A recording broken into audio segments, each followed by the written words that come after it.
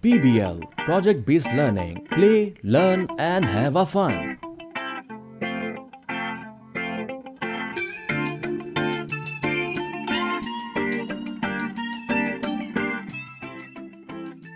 Making a drag racer car. Often, when you buy something from a hardware or furniture shop, it needs to be put together. The manufacturer usually provides a set of instructions to help you. These might be text or diagrams or both. When scientists, engineers, and mathematicians work on a complex problem, they use this strategy too. They simplify what needs to be done by writing and drawing steps of the process. Knowing how to build these might come in handy for some of your designs. Follow the series of instructions to help you to make a drag racer car.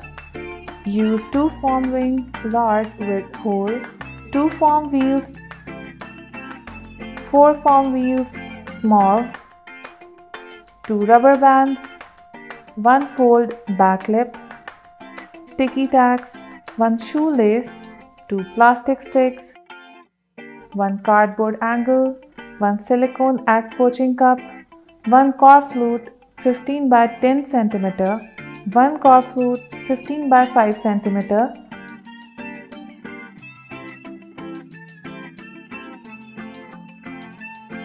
Attach both Corflutes together with rubber bands. Insert the two plastic sticks on each side hole of the two attached Corflutes. For making the front wheels of a drag racer car, attach the two small foam wheels followed by the two foam wheels on each side of the plastic stick.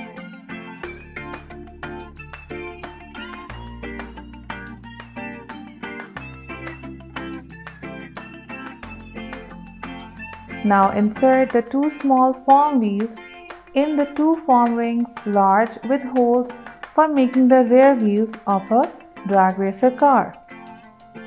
Attach the rear wheels on the plastic stick.